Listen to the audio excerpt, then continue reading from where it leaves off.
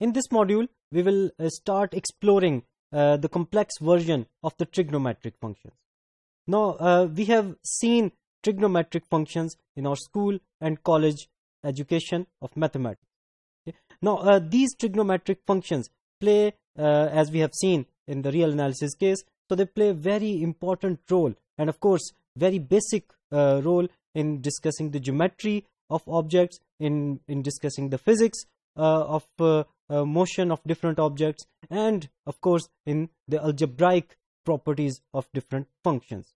Now uh, these are very important functions and uh, naturally the question arises whether we can define them in the complex analysis case or not. Uh, in this module we will try to focus on this question and of course fortunately the answer is yes. There is a way for defining cosine z where z is a complex number and uh, sine z where z is a complex number and other trigonometric function. Uh, we will try to uh, see uh, how we can define them and then of course we will try to see that uh, which, which of the properties from real analysis holds in the case of complex analysis. So the whole discussion is going to be focused on these uh, areas how do we define them and what properties holds in the case of complex case and of course uh, uh, the comparison and the derivatives and other properties. Okay now let's begin with our uh, discussion. Now um, when we defined exponential functions and other functions uh, we agreed on one thing uh, that uh, there is a strategy for defining the complex versions of the functions from real analysis. And the strategy is basically very simple. We used uh, the series expansion of that function from real analysis and just replace x the real variable with the complex number z. Okay? Now we are going to use the same strategy in the case of trigonometric functions as well. Now uh, let's begin uh, with our uh, definition. Now we know that sine x is basically defined in the following way. Now this is uh, the series expansion that we get from real analysis. And similarly we can write down cosine x in the following way this is the series expansion that we get from real analysis. And according to our strategy we are going to define sine z in the following way where we just replace x with z. So that's how we define sine z. Okay? And of, of course over here you can see that the x is replaced with z where z is any complex number. And uh, similarly we can define cosine z in the following way. So of course in this case again uh, x is replaced with z where z is a complex number. Now uh, on the same lines we can define uh, tan x uh, cosecant x cotangent x and secant x uh, by using the same ratios. So tan z is going to be equal to sine z over cosine z cotangent z is going to be equal to cosine z over sine z and uh, secant z is going to be equal to 1 over cosine z and cosecant z is going to be equal to 1 over sine z. And since we have defined sine and cosine. So all of these trigonometric functions can also be defined. Now what happens when uh, z is restricted to real numbers? Of course uh, uh, we can see from the definition of sine z if we restrict z to a real number x then it is exactly the same as we discussed in real analysis that it becomes sine x. So uh, our first uh, kind of check is passed. Uh, so this definition is okay and uh, according to our first check. So uh, our first check is if we restrict the complex numbers to the real numbers is it the same as we discussed in the real analysis? And uh, the first check says that it holds and this is passed. Okay? And uh, now we want to further explore uh, the properties of trigonometric function. Uh, the properties that we used in our calculations and explored in the real analysis case uh, they want to be checked in this uh, complex analysis case. Okay? Now uh, the first property is very simple to prove. Sine of minus z is going to be equal to minus sine z due to very very simple reason because if in this expression if you replace uh, z with minus z then over here uh, minus 1 is to power 1 will be common from all of the terms. And what do we get? Minus sine z. Okay so due to very uh, very simple reason and once again due to uh, again a very simple reason cosine of minus z is equal to cosine z because when we replace this z with minus z then over here you can see that there are only even powers of z. So this minus 1 will be absorbed in that even power. So that's why cosine of minus z is going to be equal to cosine z now uh, this identity requires some uh, steps but i'm going to leave this as an exercise. So there are uh, some uh, very simple steps to follow and we can easily check that this property uh, and this identity also holds in the complex case. And it is a very useful identity which we will be using in our further calculations now uh, we want to define trigonometric function in another way. So uh, that was one definition which was the series definition of the trigonometric function. Now we want to define them in another way and for that definition we are going to use the following fact. And of course we are going to first prove this fact and then we will use it to find other uh, definitions of trigonometric function and of course uh, this way of defining trigonometric function uh, gives us uh, further properties which are easy to prove. And uh, uh, this will help us in uh, for example comparing the real and complex analysis case. Now uh, let's have a look at the proof. E raised to power iota z is equal to cosine z plus iota sine z. Now uh, there is one important thing. Please don't confuse this fact with the euler identity. With the euler formula. So the euler formula is e raised to power iota theta where theta is a real number over here z is not a real number. Z is any complex number. And though uh, this is going to be equal to cosine z plus iota sine. Okay? Theta sorry. In this case this is this theta. So uh, please don't confuse uh, this fact with the Euler formula. So the Euler formula is kind of uh, a restriction of uh, this fact. Uh, now the proof of this is relatively simple. And in fact it is on the same lines as the proof of the Euler's formula okay. Now uh, over, over here uh, e raised to power iota z can be defined in the following way by just replacing uh, iota z in the definition of e raised to power z. So we are just using the series definition of the exponential function. Now we can write down this series uh, in two parts. Uh, the even terms are over here. The odd terms are over here. So for example 0 2 4 terms will be here. And uh, when we vary the value of n from 0 to infinity then we will get 1 3 5 and up to so on. So basically we have divided this uh, uh, series into even and odd terms. Okay now uh, of course we can now start observing uh, the appearance of cosine and sine. And of course this these are the even powers. So there is a uh, there is a guess that this might end up to be cosine. And there is a uh, there are even odd powers. So there is a kind of guess that this expression might end up to sine of z. Now let's see if uh, our intuition is correct in this case or not. Now moving on. So we can try to uh, separate these iotas in the following way.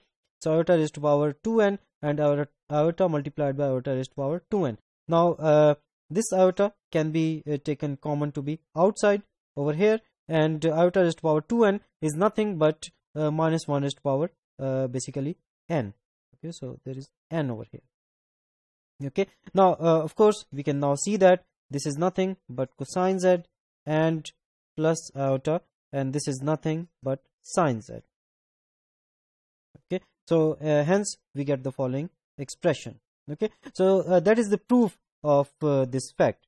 Now using this fact uh, we can uh, define sine z in another way. Okay? So e raised to power z is going to be equal to cosine z plus iota sine z and uh, using uh, this we can if we just replace iota z with minus iota z then we get the following expression. Cosine z minus iota sine z. Okay? Now uh, if we subtract these two uh, expressions then we get the following thing. So sine z is going to be equal to 1 over 2 iota e raised to power iota z minus e raised to power minus iota z. So that's another way of uh, defining uh, sine z where z is a complex number and on the same lines we can of course uh, define cosine z uh, using e raised to power iota z and e raised to power minus iota z. So this implies that cosine z is going to be equal to half e raised to power iota z plus e raised to power minus iota z. Okay? Now uh, based on uh, these definition we can define other trigonometric functions. So for example we can define tan z we can define cotangent z cosecant z and secant z. So because tan z is just sine over cosine so and we have defined sine and cosine so if we just divide them we get the definition of tan z and other trigonometric functions can be defined so so far we have two ways of defining these uh, complex trigonometric functions now what are the consequences of this new way uh, uh, of defining the trigonometric function. Now let's have a, a, look at the consequences. So the first consequence is this very useful formula uh, that will help us in expanding uh, sine z if z is equal to x plus iota y. So basically this separates uh, the real and imaginary parts of the complex number. So that's where it is useful. Okay, if z is equal to x plus iota y, then in this formula you can say that this uh, real part is separated from this imaginary part and over over here in the second term as well the real part x is separated from its imaginary term so basically they are separated in this expression and uh, in the further calculations we will see that this formula will help us in our calculation. Okay? Now the proof uh, is based on our second definition of sine z. We know that this is equal to uh, 1 over 2 iota e raised to power iota z minus e raised to power minus iota z. Okay? Now uh, e raised to power iota z becomes e raised to power iota x plus iota y. And uh, similarly e raised to power minus iota z becomes e raised to power minus iota x plus iota y.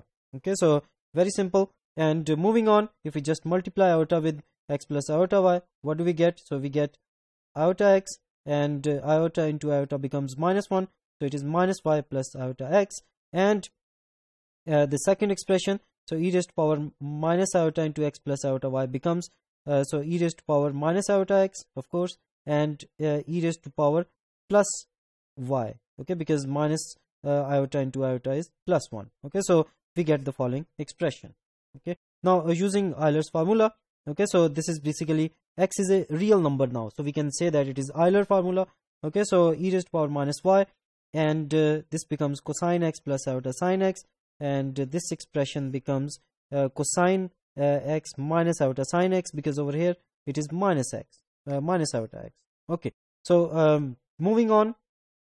So what do we get? So over here uh, this is basically uh, sine x and uh, of course if we separate the terms the, then we get sine x and e raised to power y plus e raised to power minus y over 2 plus iota cosine x e raised to power y minus e raised to power minus y over 2 now uh, uh, now these expressions so they are kind of familiar to us from the real analysis. Now let's see uh, what are uh, these expressions okay? Of course uh, these are basically uh, cosine hyperbolic y and sine hyperbolic y. So basically this is the end of the proof of this expression. Okay? Now moving on to the next fact which can be of course proved using the same uh, definition of uh, cosine z. Uh, of course the second definition that we have done in this module. So using that definition and following the same steps as we did for the sine z we can easily prove this formula. Okay. Now let's have a look at the consequences of these formulas. Now using these formulas we can calculate for example prove uh, that sine of z plus 2 pi is equal to sine of z. Now once again uh, in real analysis we used it again and again that sine x is a periodic function with period 2 pi. And very fortunately uh, this is also true in the complex analysis case. In other words sine of z plus 2 pi is equal to sine of z. And similarly cosine z plus 2 pi is equal to cosine of z. And similarly other properties. Okay. Now uh, let's see how to prove uh, these properties. Let's uh, try to focus on the first property and the rest of the properties are uh, left as an exercise. Okay. So how to prove this thing? Now uh, z if z is equal to x plus iota y then this can be written in the following way so sine of x plus iota y plus 2 pi and if we uh, gather the real and imaginary parts so we get a sine of x plus 2 pi plus iota y okay now using uh, this formula that we just proved, uh, we can expand this expression in the following way. Now sine of x. Now in this case our x is x plus 2 pi. Okay. And cosine hyperbolic y. And in this case y is basically the same as y plus iota cosine of x plus 2 pi plus sine hyperbolic y. Okay. So that's what we get okay now uh, once again uh, sine of x plus 2 pi is basically sine of x and cosine of hyperbolic y remains the same and similarly cosine of x plus 2 pi is the same as cosine of x and sine of hyperbolic y remains the same okay now uh, we can easily uh, observe that this is the same as sine of x plus iota y which is basically sine of z. So this implies that we have proved that in the complex case, in the complex trigonometric sine function case, sine of z plus 2 pi is equal to sine of z.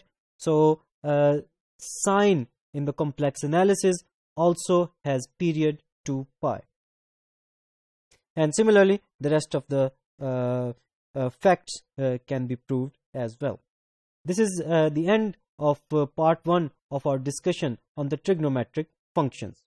So far, uh, we have defined uh, the trigonometric function in the complex analysis case and uh, we explored uh, some of the properties. Uh, in fact, we defined them in two different ways and uh, both ways have their own importance and we will see that in some cases we will be using one definition and in some cases we will be using the second definition. It depends on the, the situation. In our further discussions, we will further explore uh, the properties of these uh, complex trigonometric functions.